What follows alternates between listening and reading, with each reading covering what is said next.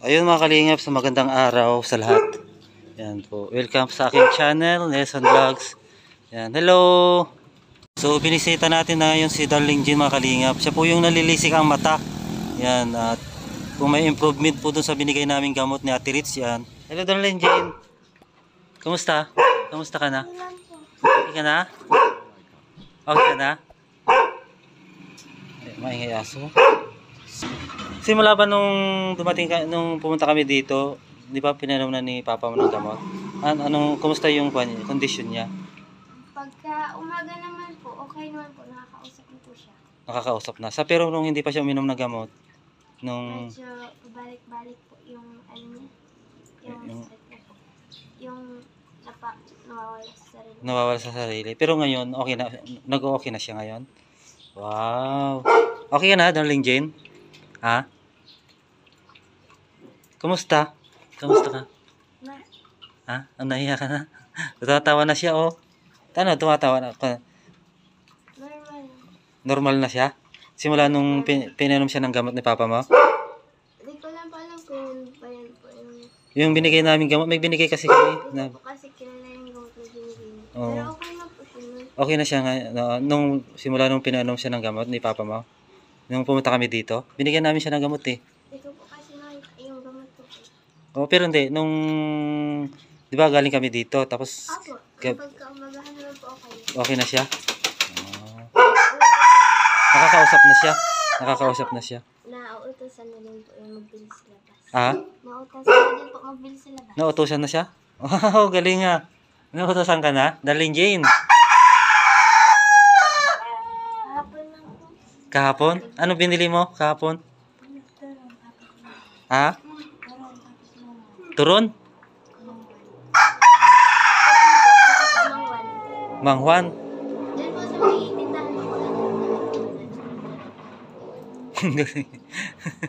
Tatawa na siya, ah. ah. Una namin punta dito mga kalingap, nalilisik yung mata ni Darling Jean mga kalingap. Yan. Ngayon, okay-okay na siya na, oh. Tumatawa na siya. Ako. Anong mata, yung mata niya? Kaya nung pumunta kami dito yung gabi. Oo. Eh ngayon, nung simula nung hindi na. Hindi siya na ganun. Hindi na, sinimula nung nagpunta kami dito, yung kinabukasan, hindi na. May libangan na din po siya. May libangan. Anong libangan niya na Ano po, pero po ng cellphone. Ah, cellphone na. Marunong siya maggamit ng cellphone.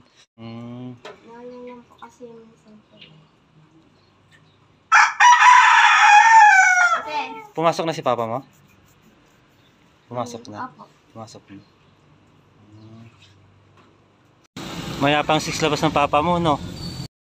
Kailangan makausap sa papa mo. Yung Seven po. Ah, seven. Ito kapatid pa ni Darling Jane, kapatid ka no? Panganay, kami panganay. Anong pangalan mo? DJ po. DJ Guerrero. Yan. So bali kami panganay nila no. Nagpunta na kami dito na pap niya sila na nila Ate Ritz kasama ko yung dalawa. Yun, ah, nakausap namin si papa mo. Oo. Hindi. Oo.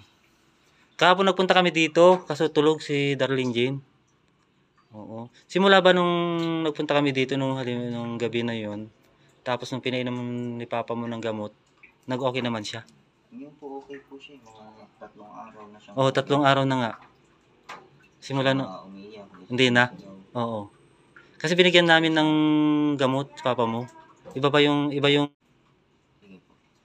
Ayun, Kasi pinapatanong lang po ng mama ko ay kung sino daw po yung vlogger na kung dito. ah, Na, di rin po kasi siya sure kung sino yun. oo. Sa Ki- Baka kilala niya si Kuya Bal, Bal Santos Mat. Kasamang kami ni Kuya Bal. Mga charity vlogger kamo. Eh, gusto namin pagalingin si yung kapatid mo, si Darling Jean. tatlong taon na po kasi siyang ganyan. Oo nga, tatlong taon ng araw. Pabalik-balik po kami kakapa-check up. Wala pong nagbabago. Pero ngayon, Okay po siya. okay na ngayon siya. Hindi mo siya pupilit lumabas. Oo, hindi na no. Okay po siya. Kasi nung, nagpunta, oh, nung nagpunta kasi kami dito, umakyat daw ng gate, di, may sugat siya dito. Pag akit niya ng gate, doon po siya nasugatan. Doon niya, buti hindi siya nahulog, no? Buti andito ka. Ay, wala po ako nandito nasa. Then, ngayon, Ngayon po. kahapon pumunta kami dito eh. Tulog si Darlene Jean eh. So yun, ah ah in-update ko lang kung umuki yung gamot na pinainom sa kanya. Ayun. Kung alam kung anong pinapahinom ni Papa, alam yan sa inyo. Galing din pala din. Darlene eh. Oo. Len. Ay, dito. Katawa na si Darlene Jean ah. Gumaling na siya no. Ang laki ng pag pinagbago niya. Laki ng pinagbago mo no. Ito. Po. Mm, sa, iyo- sa inyo yan. Para huwag niyo palipasan ng gutom. Dapat palagi siyang kumakain. Oo. Ano? Kilala mo pa ako? Hindi. Ako yung pagpunta dito nung nakarang yung nakarang araw, yung gabi. Yung umakyat ka pa diyan sa gate. Di mo, di mo na ako natandaan. Yung tatlo kami napunta dito. Si, yung papa mo nakausap namin. Pero okay na ka ngayon. Okay na. Naligo na siya. Po, Naliligo. maliligo pa lang po siya. Oo. dapat araw-araw yung paliguan. Opo, naliligo. Oo. Para presko yung sa yung katawan. Kumain, kumain ka na? Opo, kumain na po. Anong ulam mo? Ah. Itlog. Iklog. Tapos ano, Gagabi po pansit. ah, Gagabi po. ah, pansit. yata kumain. Ah? Hindi ka pa kumakain ng? Nagsasaing. Wala pa. Ay, ano na ba? Alas 12 na. Hindi pa kayo kumakain ng tanghalian? Nagsasaing. Sasain ka pa lang? Ah. May ulam kayo? Meron po. Mayroon. Ayan. Magaling na si Darlene Jen. Ah, sumama sa, sa Naga? Saan yun? Sa Naga. Layo. Malayo yun. Dito pala. Andun. Punta ako dito kahapon, tulog ka raw. Hapon, tulog yan. Oo, tulog ka raw. Tulog yan. Di mo alam yung ginagawa mo nung nagpunta kami dito. Yung, ah, Darlene Jen? Nakakalimut. Nakakalimutin mo na. Magaling ka na? Ha? Ang galing na si Darlene Jean, mga kalingap. Mm, Yan si kuya niya, oh.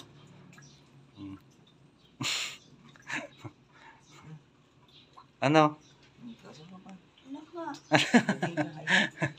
Pasalamat ka. Salamat po. Ayan, sa mga sponsor ka mo. Mga sponsor po. Ayan, shout out ka mo. Shout out. Shout out niyo po. Kay mama. Shout out mo si mama mo. Shout out po, mama. Ayan. Hindi na hinahanap si mama niya. Po. Hindi niya na hinahanap. Ay, inaano din po. Nakakatawag po. Ganyan. Hindi, nung simula nung... Kasi nung pinuntahan namin dito nung gabi, isang gabi, yung una namin punta, palagi niyang hinahanap yung mama niya. Pero ngayon, Hindi naman na. Tinachat niya na lang niya. Mm. Tapos nalilisik yung mata niya nung napunta kami dito dito kagabi, ay nung isang araw. Na- Naglilisik yung mata niya. Tapos lakad siya ng lakad dyan, ikot ng ikot dyan sa loob niyo. Pero ngayon, oh, tumatawa na siya. Dapat makausap ko si papa mo eh. Wala, wala. Tinda po sa papa. Para kung mayroon pa yung gamot na pinapainom sa kanya. Sa Merkules, papacheck up niya ulit. Oo. Dapat makausap ko si papa mo para alam ko kung ano yung kung yung gamot na pinapainom niya ay mayroon pa. Tingnan mo, laki ng pinagbago niya, oh.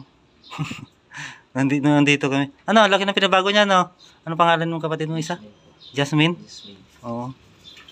Di ba nung nandito kami, naglilisik yung mata niya, tapos lakad ng lakad dyan? Oo. Oo nga, palagi na nakatingin sa taas. Ayun. Mauwi na ako, darling Jane. Opo, bye po. Bye-bye. Ingat ka na lang, ha. Po. Kain ka ng kain para hindi ka malipasan ng gutom. Sige, salamat, ha. Oo. DJ, DJ ba? DJ, ha. Salamat po yan. Kasmain, Salamat isa. salamat, ha. Yan, ingat kayo dito, oh. Kayo lang dito, no? Mm. Sige, salamat. Salamat po. Ayan, oh. Sige. Oo nga, dati, no, palagi nakalakto dati, no? Ngayon, di na. Ayun, nung nagpunta kami dito, mga kalingap, palagi nakalaki ang gate nila kasi nga palagi lumalabas. Pero ngayon, di na lumalabas. Hindi na. Di di man ako. Tapos nautusan nyo na yata. Opo, nautusan po namin. Pero ano lang, pakunti-kunti lang po. Oo nga. Sige, DJ. Salamat ha. Oo. So yun mga kalingap, ah bali in-update lang natin si Darling Jane. Yan po. Siya po yung pinuntahan namin nila Ritz na nalilisik ang mata. Yan, oh, ikot ng ikot po siya sa loob ng bahay. Tapos umakyat po yun ng gate. Gustong lumabas. Yan, sumabit po yung kamay po niya na sugat. Yun. At ngayon, ah, magaling na siya. Medyo okay na po yung pag-iisip niya. Ayan, nakakausap na siya ng matin, ma- na, makakausap na po siya. Ayan, tapos nautosan na rin daw nila na bumili ng pagkain. Wow, galing oh, mga kalingap. Ayan. Ate Ritz po yung nagbigay nung gamot nun mga kalingap. Ayun. Yun, support po natin Ritz Vlog mga kalingap. Yan yung shout out po. Ayan, at maraming maraming salamat po sa tulong niya. Ayan, at okay na rin si Darling Jane. Ang kulang na lang injection. Ayan, eh, mahal ang injection mga kalingap. Yung papa po niya hindi, hindi ko nakausap kasi may pasok. Kailangan makausap ko yung papa niya para yung gamot na pinapainom niya kung umoki. Ayan, kung hiyang kay Darling Jean. Ano po nanay? May puro tattoo oh. Mga kalingap. Yung mga tao dito. Ang daming mga tattoo. Ayan.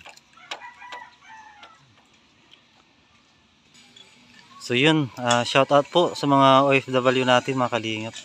Yan, shout out po kay Ate Josie Johnson po, yung mga kalingap. Yan, shout out po Ate Josie. Yan, siya po yung nag-sponsor po sa